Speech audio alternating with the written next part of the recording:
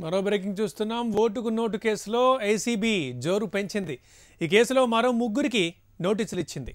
ఇందులో ఆదికేశవల్ నాయుడు కుమారుడు శ్రీనివాసులకు నోటీసులు అందాయి. ఈ విషయానికి సంబంధించి మరింత సమాచారం ప్రతినిధి రమణ తెలుసుకుందాం. రమణ చెప్పండి ఆ ముగ్గురు ఎవరు?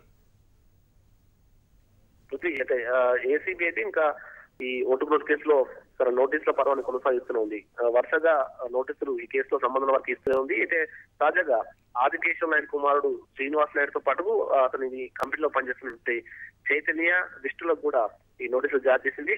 మూడు రోజుల్లోగా తమ ఎదుట విచారణకు హాజరు కావాలని ఏసీబీ తమ నోటీసులో పేర్కొంది. అయితే ముఖ్యంగా డబ్బులు ఏవైతే చీటింగ్ యాభై లక్షల రూపాయలు ఉన్నాయో ఆ యాభై లక్షల రూపాయలు వీరి ద్వారా వచ్చాయన్నట్టు కొన్ని అభియోగాలు అయితే అంటే కొంత ఏసీబీ తమ దర్యాప్తు తెలుస్తున్న విషయాల ద్వారా వీరే సమకూర్చారనేటువంటి వార్తలతో వీరిని పిలిచినట్టుగా మనకు తాజాగా అంటున్న సమాచారం. ఆ, మొత్తం మీద మూడు రోజుల లోపల లోపల రావాలని కోరి కొన్నట్టు తెలుస్తుంది. అయితే ప్రస్తుతం అయితే శ్రీనివాస నాయుడు న్యూజిలాండ్ ఉన్నట్టు తెలుస్తుంది. ఇప్పటికే నోటీసు సంబంధించిన సమాచారం వారికి సంబంధించిన బెంగళూరులో ఈ కార్యాలయంలో అంద అందజేశారు. ఈ సమాచారం ఇప్పటికే శ్రీనివాస నాయుడు చేరుకుంది. ఆ, మూడు రోజుల్లోగా ఆయన విచారణకు హాజరయ్యే అవకాశం స్పష్టంగా కనిపిస్తుంది.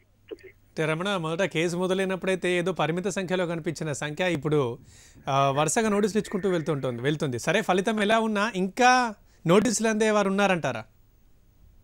అంటే ఇప్పటికి ఇప్పటికీ ఒక చార్జ్ షీట్ను కూడా ఈ కేసులో తెలంగాణ ఏసీబీ దాఖలు చేసింది. మరో అనుబంధ చార్జ్ షీట్ దాఖలు చేయడానికి రంగం సిద్ధం చేస్తుంది.